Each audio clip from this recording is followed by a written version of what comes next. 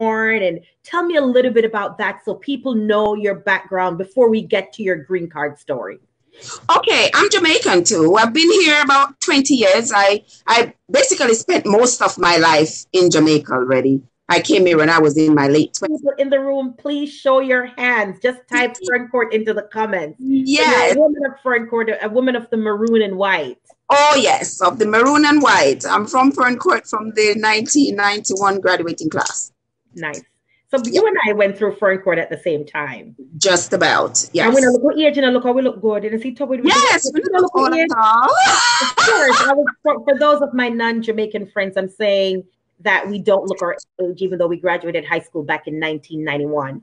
So you graduated in 1991, mm-hmm. and then, excuse me, drop the glasses. You know, I have to be able to see. And then you immigrated to the United States. Well, I immigrated um close to the turn of the century. That's mm-hmm. when I immigrated. Okay. You know, I work I worked back home as an elementary school teacher, and then uh, you know, opportunity came around for me to come here, and so I decided, mm-hmm. okay, mm-hmm. I am going to seize the moment. I'm going to come and see what was going to happen, and um, so much has happened over the years. It's just unbelievable.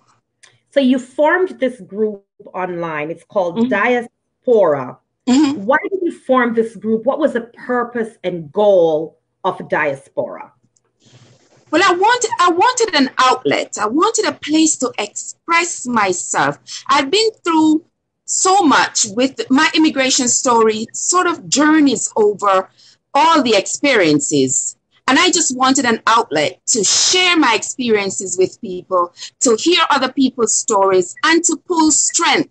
So we can pull strength together and everybody can learn. And I'm so glad that you came on because now that you have the, the legal authority mm-hmm. to speak on the immigration matters that matter to me, then the people who I speak to can be referred to you. Right. And that is how we connected because I saw mm-hmm. your story, you shared my post, and ultimately we found out we were Ferncourt sisters. So thank you again for sharing those posts. You're so, welcome. So the purpose and goal of diaspora is to help people settle, help people learn the culture and assimilate into this society. Right. Right. Um, and want them also to understand that there are lots of challenges out here, lots of challenges. And when you come out and you face challenges, you don't just pack up and run back home.